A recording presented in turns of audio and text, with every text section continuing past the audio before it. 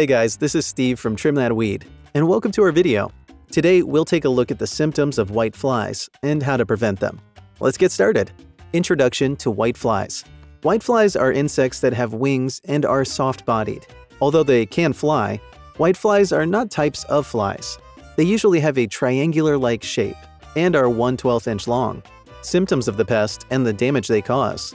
If you have an indoor greenhouse or have various ornamental flowers and warm weather vegetables in your garden, you should be on the watch for these pests, as they love such environments. The vegetables most likely infested by white flies are pepper, okra, eggplant, tomatoes, and even cabbages. You'll easily spot them if they've infested the leaves of these vegetables and plants, as their color makes them a little more visible. The white flies severely damage the vegetables, as they will suck up all the juices of these plants and vegetables leaving them weak. Its damage may result in stunted growth of your plants.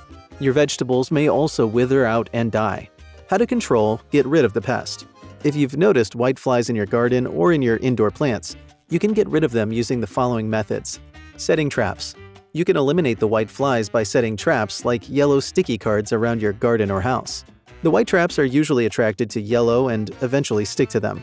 You can then burn the card or dispose of it far off. Using safer soap.